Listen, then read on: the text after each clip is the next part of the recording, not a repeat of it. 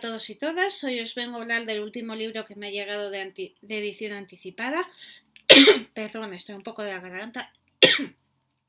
y bueno, me ha llegado este libro que es No digas nada de Brad Parks.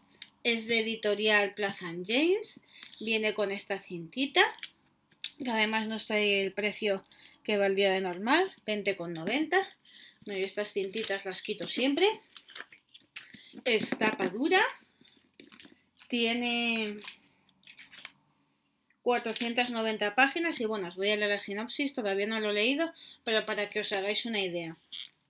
Dice, el juez Samson no presume de una vida perfecta, pero la realidad lo confirma. Tiene un trabajo de prestigio y una familia a la que ama.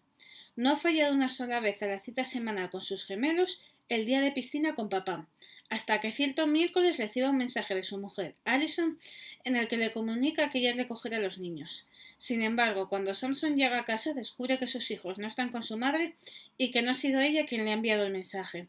En ese momento el teléfono suena y comienza la pesadilla de cualquier padre. Los han raptado. Si el juez no sigue ciertas instrucciones y no falla a favor en un caso determinado, las consecuencias serán terribles.